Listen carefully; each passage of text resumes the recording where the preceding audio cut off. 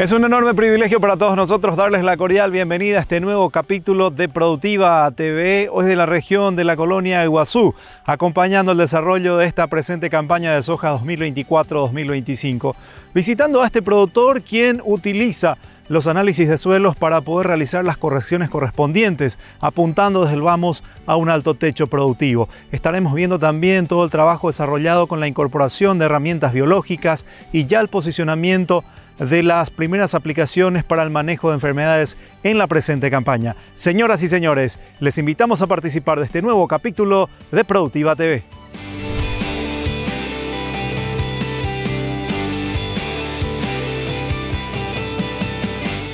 Al abrir esta primera parte de Productiva TV vamos a enfocarnos en el trabajo que desarrolla este productor en esta rica región productiva del país, sobre todo basando las correcciones tomando los análisis de suelo periódicamente, apuntando efectivamente a tratar de corregir hasta el más mínimo detalle en esta unidad de producción.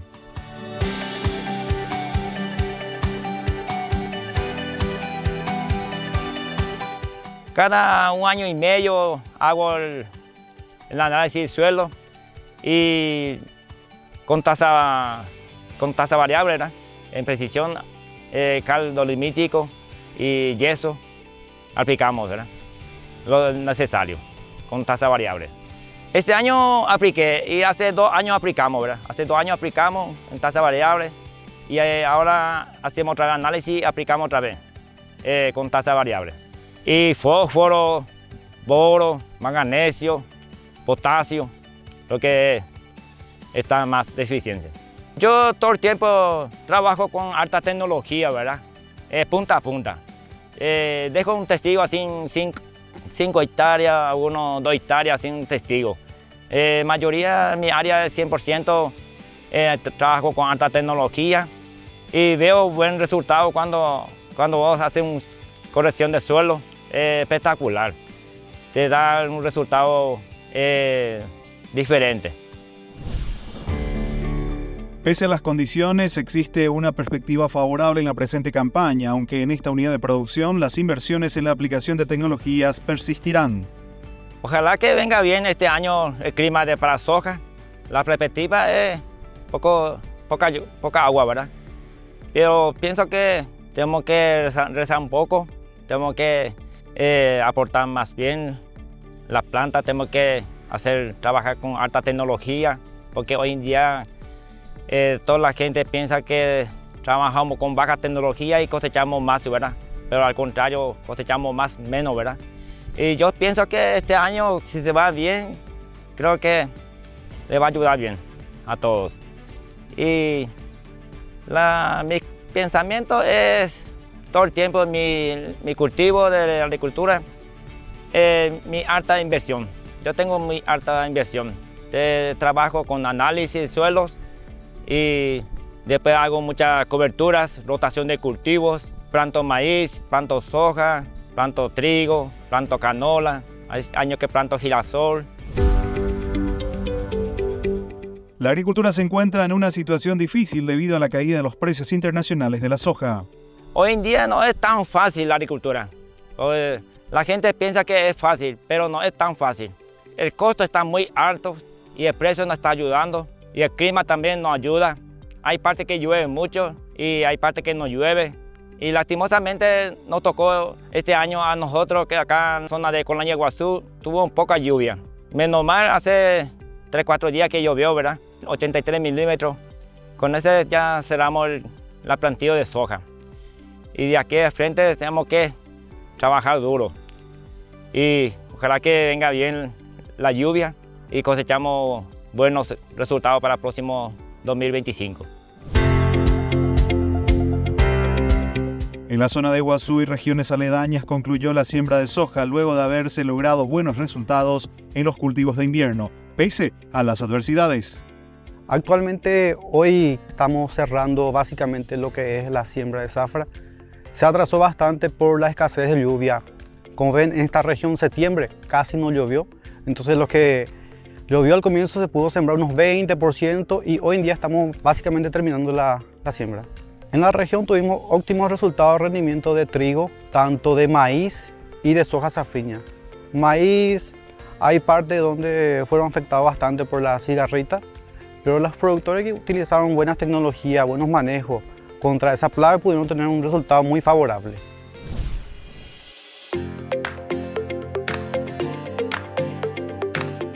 Nuevas variedades con la plataforma Intacta 2 Extend fueron posicionadas en suelo chaqueño.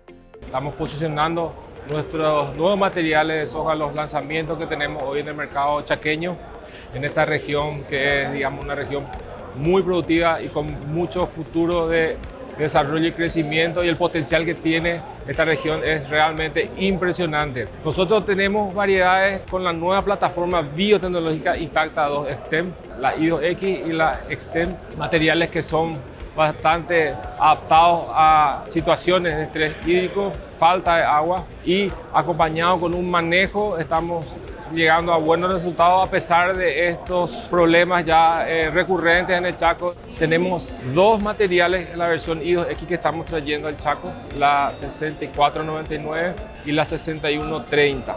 La 6499 de un ciclo 6.5 es un material bastante buscado en ese grupo Mauré en la región chaqueña, bien adaptado a condiciones más rústicas. La 6130 la trajimos para probar, ya que es un material que tiene muy buen peso de grano y tiene una excelente caja productiva. También trajimos la 6101 que es la versión Sten, que es un material bastante estable y que lo venimos probando ya en su tercera campaña aquí en la región chaqueña con muy buenos resultados.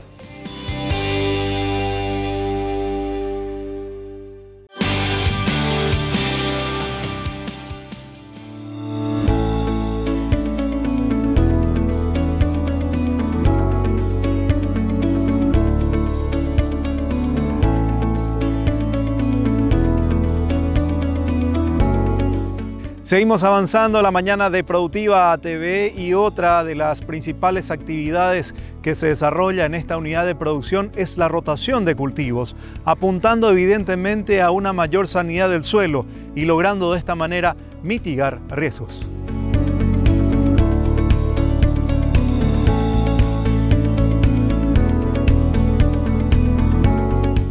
Yo tuve soja safriña un poco, tuve maíz safriña, Tuve un buen resultado también maíz safriña. Pegó un poco de sequía, pero estoy contento con el resultado porque yo invierto y el tema de calidad fue bueno y no hay tumbamiento de nada de cigarrita, nada de enfermedad, nada de, tormenta. Y gracias a Dios estoy contento por el resultado. Gracias a Dios cosechamos bueno este año el trigo, tenemos buena sanidad de las plantas con Nutricina N y calidad y teníamos pH bueno, rendimientos buenos, lo que tuvo un buen resultado que este año estoy viendo que hay muchas materias orgánicas. Eso es lo que manda hoy en la agricultura. Sin ese está lo cada día más peor.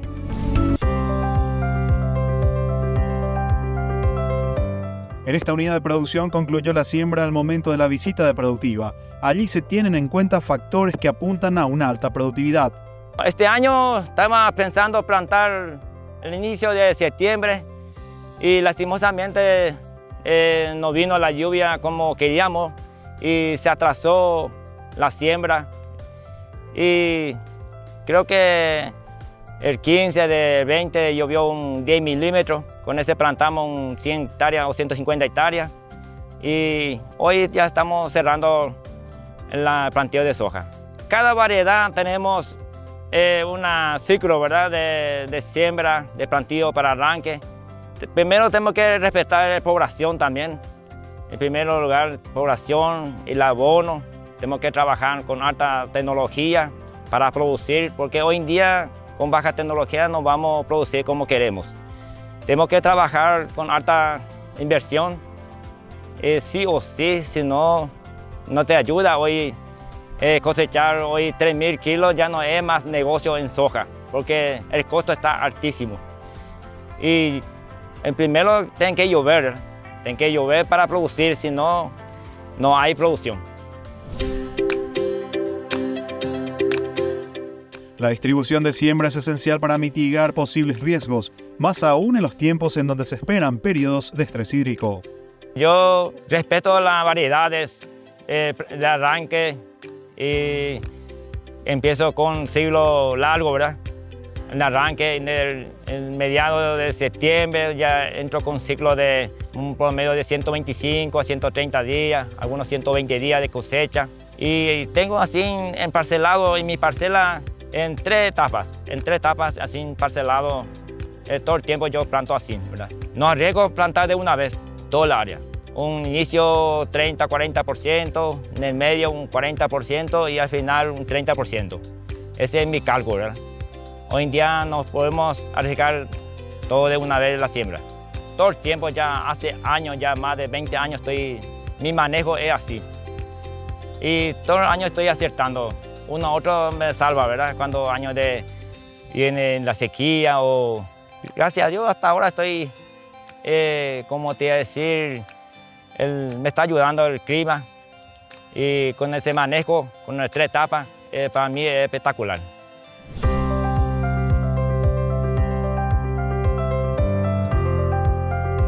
Nuevas variedades de soja se insertan en el circuito productivo del Chaco con el propósito de sumar alternativas para los productores de la región occidental del país. Nosotros estamos con un producto que es 2231 y Pro MP.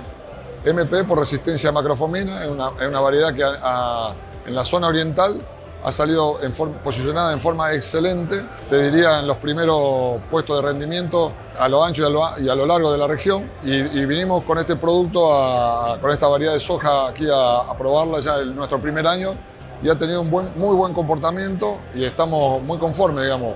Así que este año seguramente ya va a haber áreas más importantes. El año pasado ya se hizo a nivel productor la variedad y no estaba evaluada, por la Fundación. ¿eh? Ahora está evaluada por la Fundación Ideagro y entendemos que el área va, a aumentar.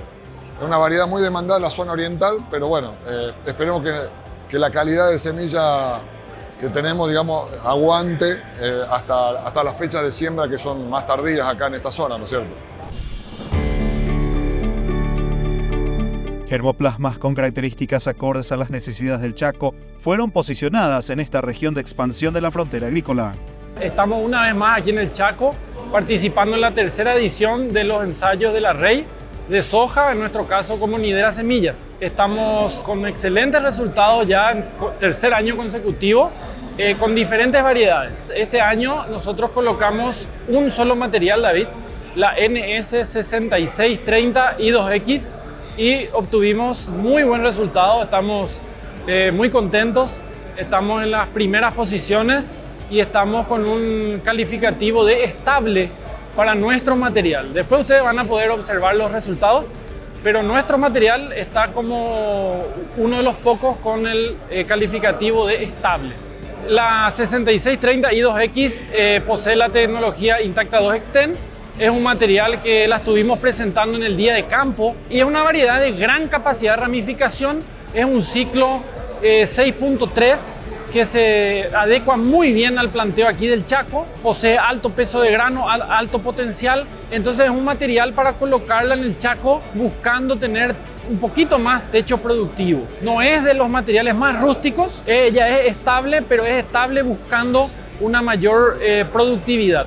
O sea, eh, eso sería para aquellos lotes o parcelas eh, con mejor cobertura, con mejor manejo, es para colocarla ahí, David, a la NS 6630 y 2X.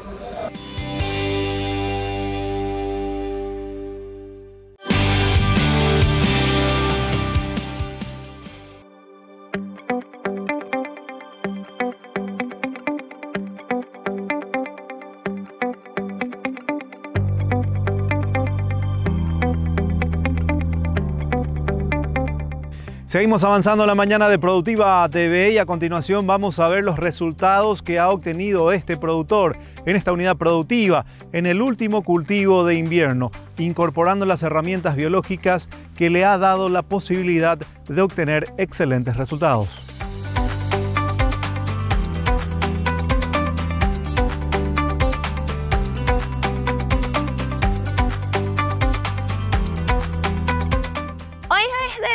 En el segmento de biológicos, iniciamos con nuestro primer producto que es el Utrilla N. El Utrilla N es una bacteria fijadora de nitrógeno. La Metylobacterium symbioticum. Ella fija el nitrógeno libre de la atmósfera. Las bacterias ingresan a través de los estomas y es ahí donde empieza esa fijación de nitrógeno equilibrada durante el ciclo del cultivo.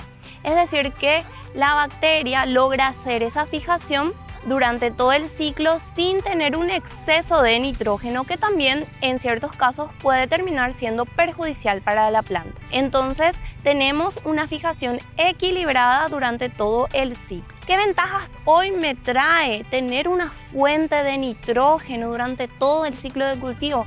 Bueno, sabemos que en las gramíneas el aporte es demasiado importante, no vemos ese reciclaje de nutrientes, todas las hojas permanecen verdes realizando fotosíntesis gracias a esta fuente de nitrógeno. Invito a todos los productores a sumarse a este nuevo concepto en el mercado nacional que es Utrilla N, una bacteria fijadora de nitrógeno atmosférico que viene a darnos un gran aporte en la productividad de nuestros cultivos. Las herramientas biológicas están permitiendo explorar nuevos niveles de productividad, pero necesitan de un posicionamiento correcto para una respuesta más favorable de los cultivos. Hoy estamos recomendando Utrilla N en esta zafra de soja que inicia. El producto puede ser aplicado desde B6 hasta R1 a una dosis de 333 gramos por hectárea, en donde vamos a ver el aporte nutricional de tener una fuente de nitrógeno equilibrada durante todo el ciclo, principalmente en lo que respecta a la sanidad, la calidad de granos y por supuesto el aumento de la productividad.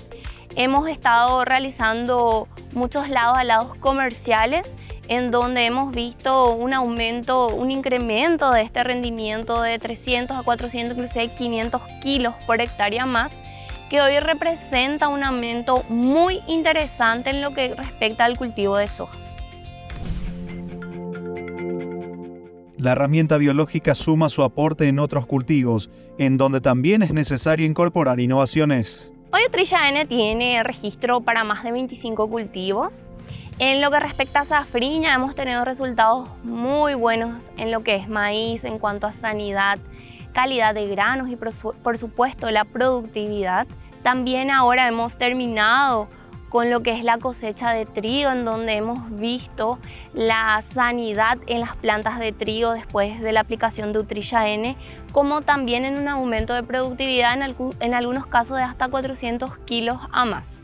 Hoy la recomendación de Utrilla N es de 333 gramos por hectárea en una aplicación única por ciclo de cultivo y esta recomendación va para todos los cultivos. Las alianzas comerciales permiten llegar con la innovación al campo de los productores para la obtención de mayores beneficios. Nuestro principal aliado en Red Agro es, hoy en día es Corteva, uno de nuestros principales aliados, ¿verdad? Con ellos venimos trabajando bastante bien este año. Eh, estamos probando productos nuevos, de novedad, que se lanzaron recién año pasado, ¿verdad? Entonces, vemos que tienen una herramienta muy interesante que vienen a contribuir a la agricultura, ¿verdad? A rotar un poco las herramientas que ya tenemos para que no pierda su eficiencia. Hoy en día estamos probando Utricia N, que es una bacteria reciclador de nitrógeno del ambiente y se portó muy bien en esta región. Entonces creo que vamos a ir con nuestra alianza con Cordeva por buenos tiempos En esta unidad de producción se apuesta a una buena fertilización del suelo para obtener un punto de equilibrio deseable en la cosecha. Tengo, como decía, abono foliar para aplicar, ¿verdad? Tengo un tres productos para, aplicar para, para, esta campaña, ¿verdad? Para tener buen resultado, ¿verdad? Y yo mi, todo el tiempo así tengo cosas positivas, ¿verdad? Si se va bien el clima, 3500, 3800, mi perspectiva, ¿verdad? Llega fácilmente, llega. Hoy, mira, está 350, 340. Eh, mi rendimiento tiene que ser mínimo eh, 3.000, ¿verdad? 3.000, 3.200. Pero está muy complicado cada año. No está tan fácil.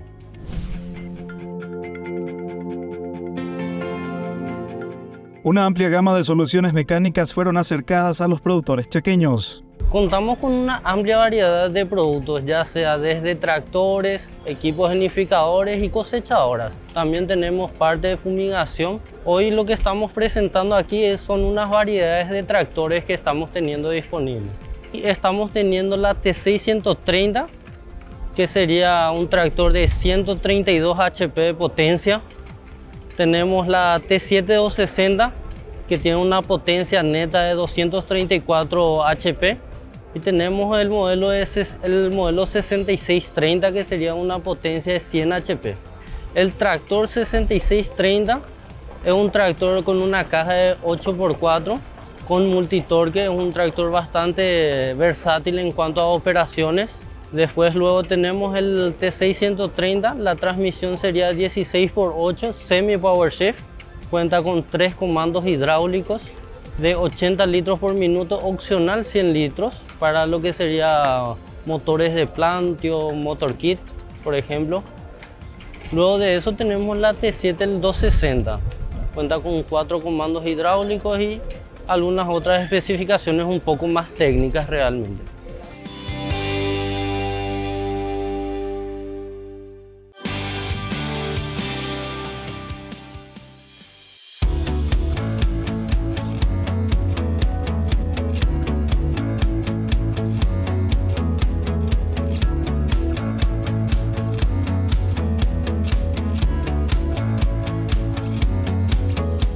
Cuarto y último bloque de Productiva TV y siguiendo el desarrollo de la presente campaña de soja ya llega el momento de las primeras aplicaciones de fungicidas, dándole una mayor prevención conforme a la posible presión de enfermedades que se puede dar dentro del ciclo productivo de la soja.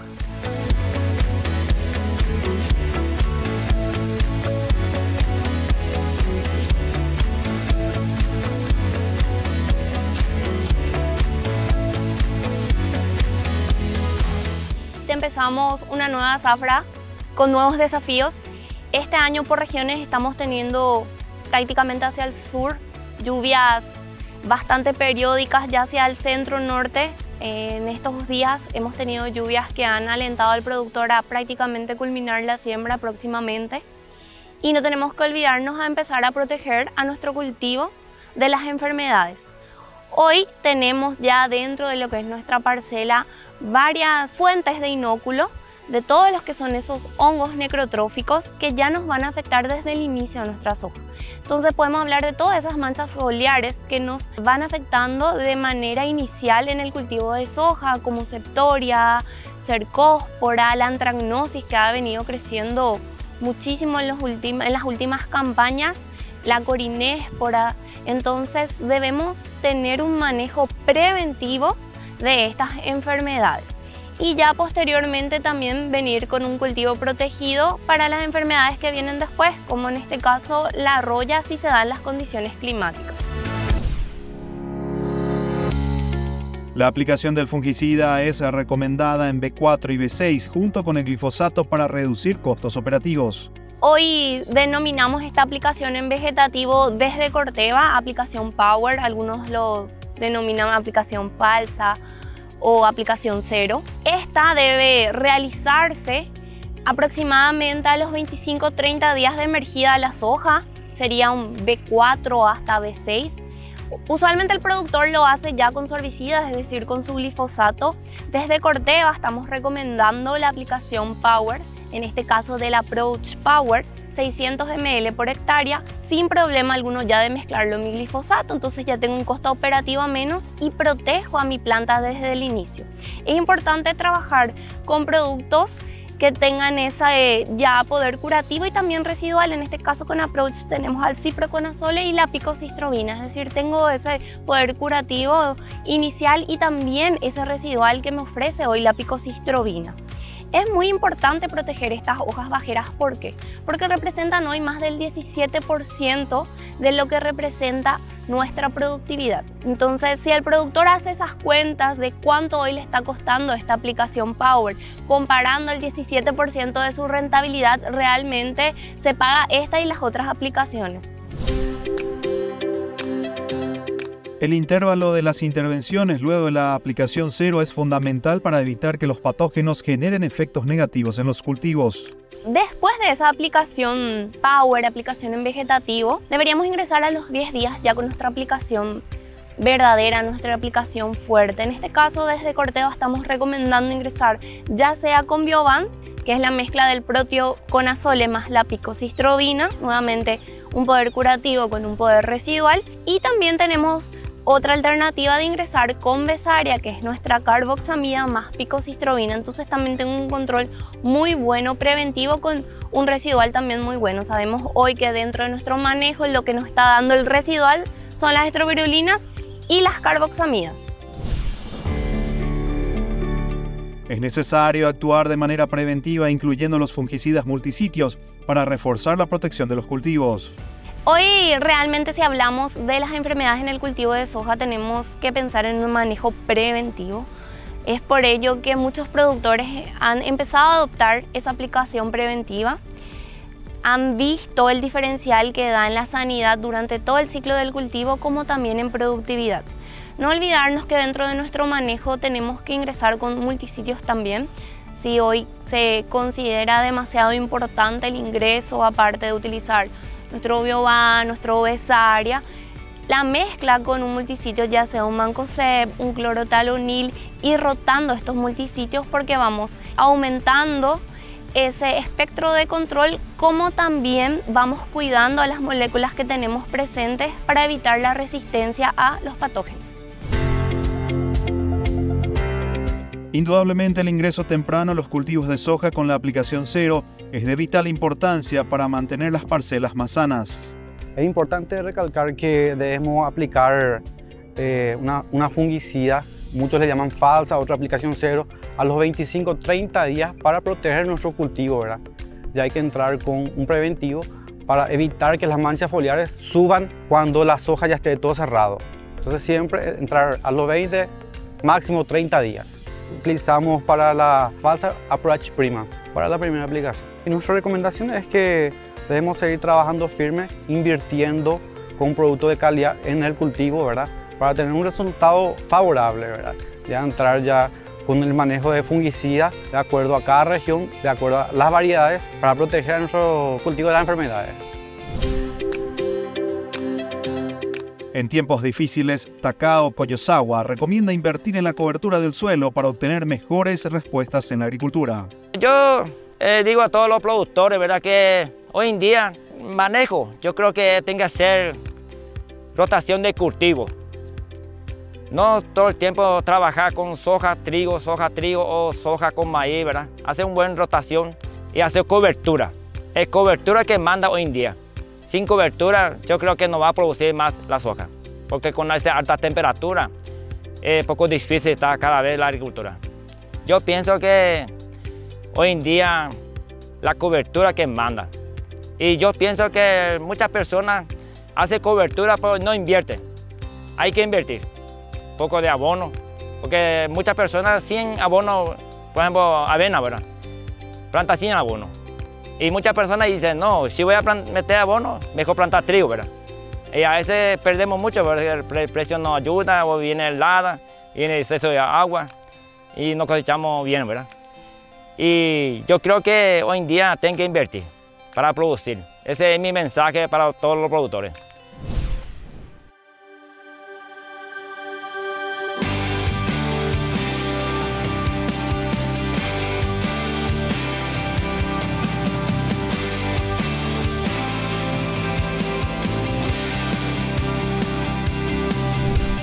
Así estamos llegando a la parte final del programa la fecha. Espero que haya sido el agrado de todos ustedes. Seguimos acompañando a nuestros queridos amigos productores en el marco del desarrollo de esta presente campaña de soja 2024-2025, augurando que sea una excelente cosecha y que siga generando ese impacto socioeconómico dentro de nuestro querido Paraguay. Muchas gracias a las empresas que nos acompañan en esta propuesta periodística. Nos reencontraremos la próxima semana con un nuevo capítulo de Productiva TV. Que el Todopoderoso les dé salud, bendiciones, trabajo, prosperidad y no se olviden mis amigos que en sus vidas alguna vez necesitarán de algún médico, de algún abogado, pero de un productor necesitamos tres veces al día. Hasta la próxima. Permiso.